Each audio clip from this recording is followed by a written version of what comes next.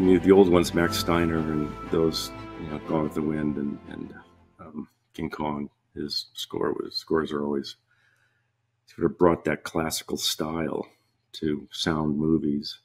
Bernard Herrmann, if you think about Bernard Herrmann, you know, the guy did Citizen Kane and he did Taxi Driver.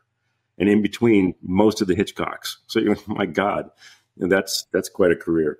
Um, um, I also like Jerry Goldsmith, and I remember Chinatown is one of my favorite movies too. And Jerry Goldsmith did a beautiful score, and I found out later that he did it quickly because he replaced an earlier score that was thrown out and had very little time, and wrote this proves that you can do something beautiful quickly. He wrote this beautiful, evocative, perfect score for for Chinatown.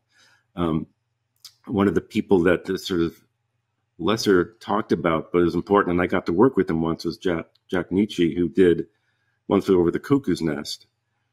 And uh, I love scores that try something different. So I remember the score for Cuckoo's Nest. There's a sound of a saw being played by a string bow, and something about that. Who would have thought to have a, you know, let's bring in a saw and play?